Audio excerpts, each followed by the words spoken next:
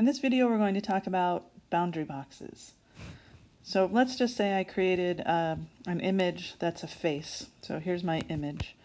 Every image that's on your Tkinter canvas has a boundary around it. And it's not perfect, especially in a situation like this where we've got something that's circular. It has a boundary box, so notice that there's a little bit of extra space, but that's just how boundary boxes work. So it's not going to be perfect because if you try to get things to collide with each other, there might be a slight gap in the in the reaction time, but it's what we're going to work with. There's ways ways to make it more precise, but we're not going to worry about that that much. Okay, so when we look at the boundary box, the way Tkinter does it and the way most programs do it is they look at the corners. So this corner here and this corner here is what they use to develop the boundary box. They say they we call this x1 and this is y1. So that's the first upper left corner and this one is x2 and y2. Now if we were to look at every corner then, remember x is the left side y is the top, so we call this, this one's x1, that's the left side. x2 is the right side. y1 is the top. y2 is the bottom. So if I were to put the points on this corner here, this is an x2 value because it's the right side of the of the image, and it's y1 because it's the top. If I look at the bottom left corner, this is the left side, so I'm going to use x1, and it's the bottom, so that's y2. That's going to come in handy later on. Now what we need to do in Tkinter is get those that information so we can figure out where is your smiley face at all times. So when we do that, there's a command. I'm going to we create a variable. Does not matter what your variable is called. I'm just going to call this the face boundary. You can call it whatever you want.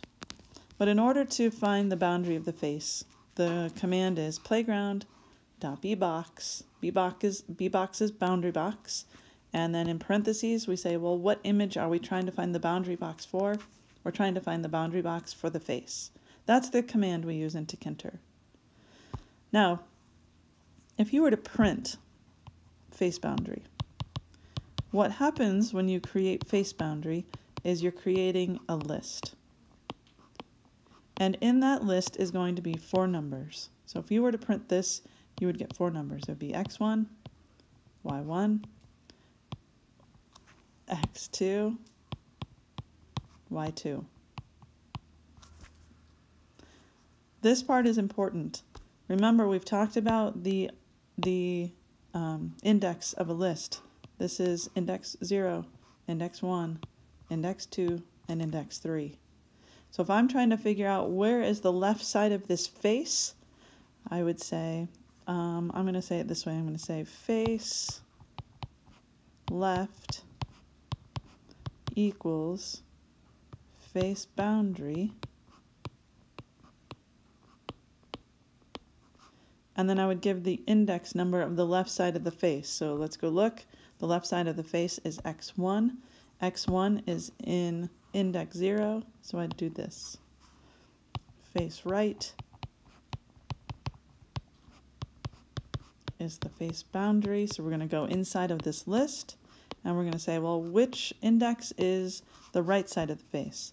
Remember that the right side is x2, and x2 is in the second index. And then face top and face bottom would have the similar effect. Face top That's y1 because that's the top. y1 is in index 1. And then finally the face's bottom